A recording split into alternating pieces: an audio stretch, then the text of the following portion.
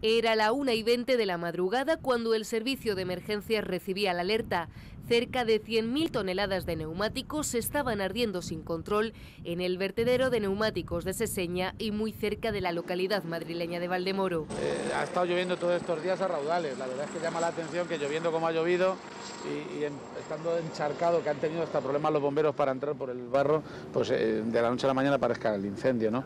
Las personas que lo han detectado, que son las trabajadoras precisamente de, la estación de servicio, vieron claramente que empezó en, la Comunidad de Madrid, en Valdemoro, porque la, la parcela conjunta que empezó en una esquina y eso pues te hace sospechar.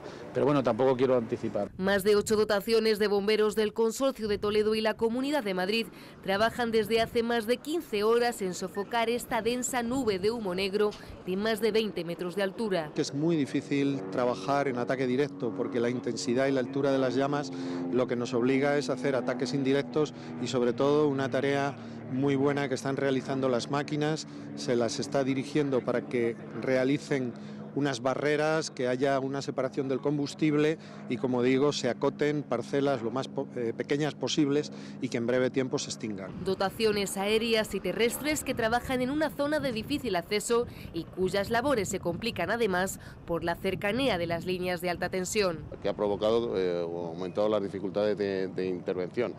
Eh, con este cortafuegos que, se está realizando por parte de, los servicios eh, de emergencia, pues eh, intentamos que no se extienda más el incendio. A la una de la tarde se elevaba la alerta al nivel 2 dentro del Plan Territorial de Emergencias de Castilla-La Mancha.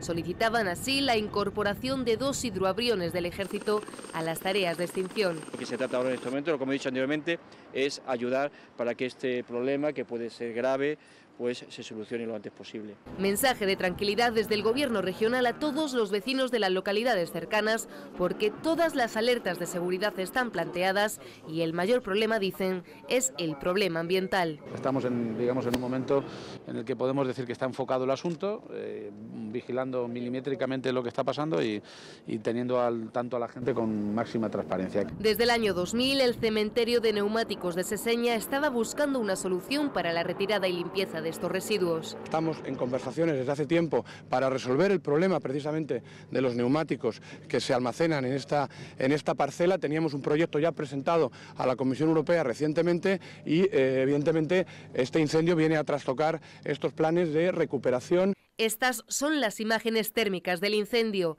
Altas temperaturas por la quema de neumáticos y un viento de más de 25 kilómetros por hora que dificultan los trabajos de extinción, aunque se espera que a partir de esta tarde empeoren las condiciones climáticas. Puede provocar es que la columna de, humos caiga y, la, contaminación atmosférica sea mucho mayor porque, porque va a precipitar todas las partículas sólidas que van en suspensión.